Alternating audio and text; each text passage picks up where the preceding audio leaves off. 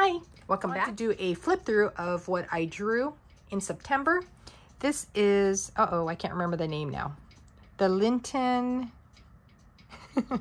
Linton something. I will list it down below. This is what I purchased for my A5 diary and it fits perfectly in here. I just love this thing.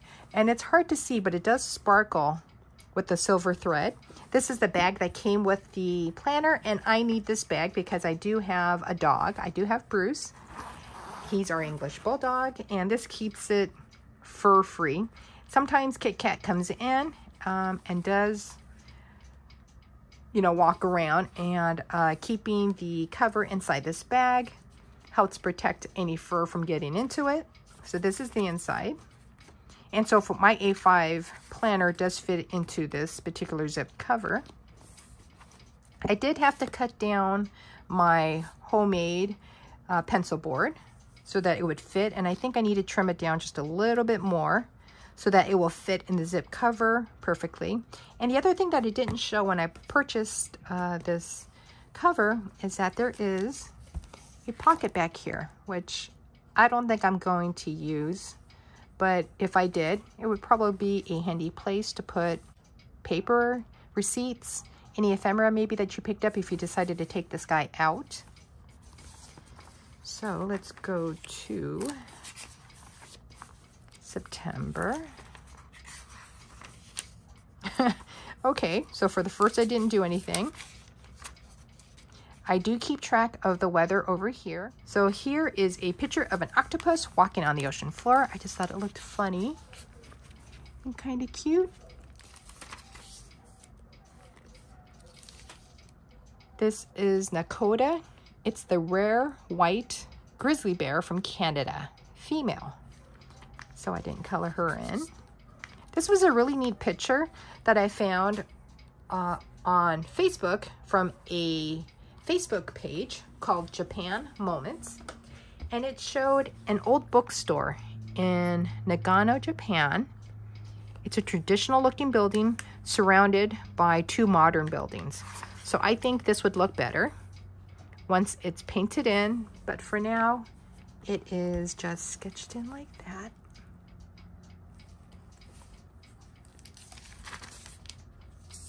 I don't know if you can tell. That's supposed to be a roller coaster.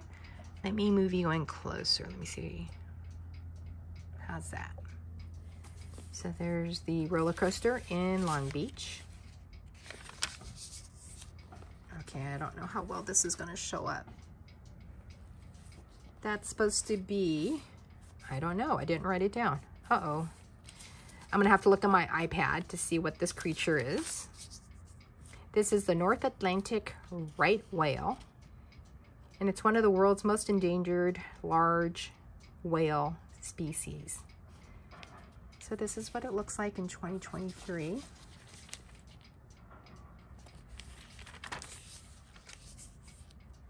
This is the Chinese paddlefish, one of the world's largest fish, and it's gone extinct. Okay, so right about this time, I got on this kick of drawing extinct animals. Uh, so this is one of them, native to China. This is a another extinct animal. This is the smooth handfish, and I think it came out pretty nice. But it is now extinct, but it used its fins and kind of walked along the sea floor. This is a splendid poison frog, also extinct, and it's a beautiful red color, was a beautiful red color. This is called the Labrador duck, last known duck.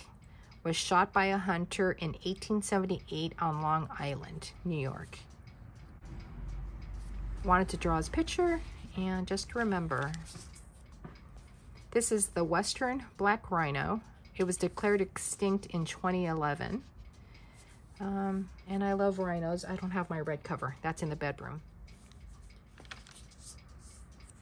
This is Pioneer Takeout. This is the logo sign. So if you watched my cousin uh, flip through for September we went to a fried chicken place to pick up chicken for the three of us to eat.